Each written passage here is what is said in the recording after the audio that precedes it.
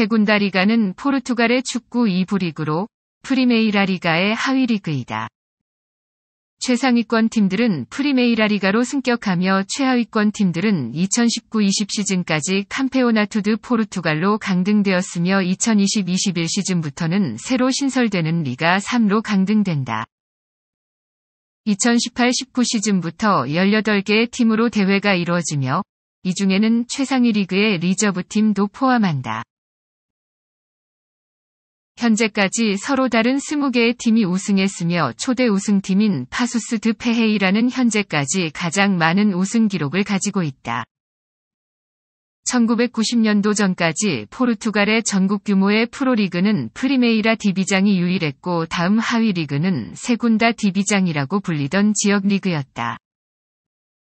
1990-91 시즌에 세군다 디비장 드 오나라는 명칭의 프로축구 2부 리그가 신설되면서 기존의 세 군 다 디비장은 세 군 다 디비장 B로 바뀌며 3부 리그로 옮기게 되었다. 1999년에 포르투갈 프로축구연맹 2일 2부의 전국 리그 운영권을 가지면서 현재까지 이르고 있다. 현재의 리그 설립 전에는 세군다 디비장, 세군다 디비장 드 오나라고 불렸다.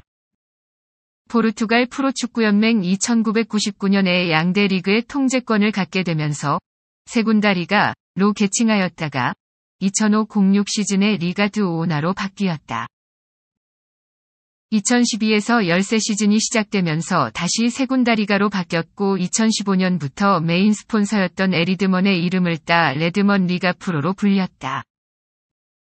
이후 스폰서십 종료로 2019년부터 리가 프로로 부르다 2021년부터 리그 개편에 따라 리가 포르투갈 2로 바뀌었으며 포르투갈의 보험사인 SABSEG가 후원사를 맡아 리가 포르투갈 2 SABSEG로 부르고 있다.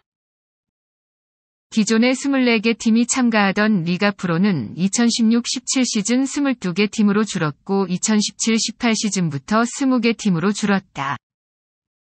다음 시즌에 참가팀을 18개 팀으로 다시 줄였다.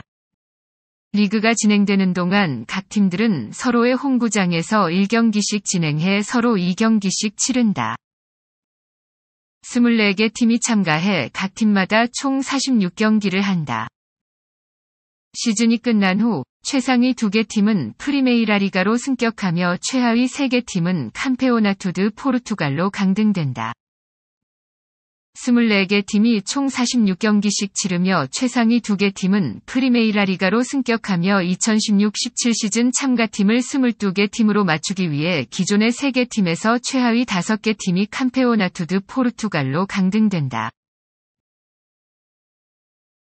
22개 팀이 총 42경기씩 치르며 최상위 2개 팀은 프리메이라 리가로 승격하며 2017-18 시즌 참가팀을 20개 팀으로 맞추기 위해 기존의 3개 팀에서 최하위 4개 팀이 캄페오나투 드 포르투갈로 곧바로 강등되며 17위 팀과 18위 팀은 캄페오나투 드 포르투갈 북부와 남부 지역의 준우승 팀과 플레이오프를 가져 승격 혹은 강등을 결정하게 된다. 20개 팀이 총 38경기씩 치르며 최상위 2개 팀은 프리메이라 리가로 승격하며 2018-19 시즌 참가팀을 18개 팀으로 맞추기 위해 기존의 3개 팀에서 최하위 4개 팀이 캄페오나투드 포르투갈로 바로 강등된다.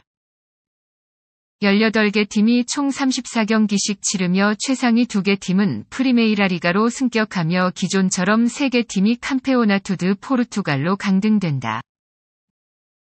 포르투갈의 코로나19 범유행으로 인해 2020년 3월 12일에 LPFP는 리그를 무기한 중지했으며 당시 마지막 순위 기준으로 가장 최상위 두 개 팀이 승격하고 최하위 두 개 팀은 강등되기로 했지만 프리메이라 리가의 비토리아 FC와 CD 아베스가 재정 문제 등으로 리그 참가 자격을 박탈당하며 곧바로 캄페오나투 드 포르투갈로 강등되면서 강등팀 없이 마무리하게 되었다.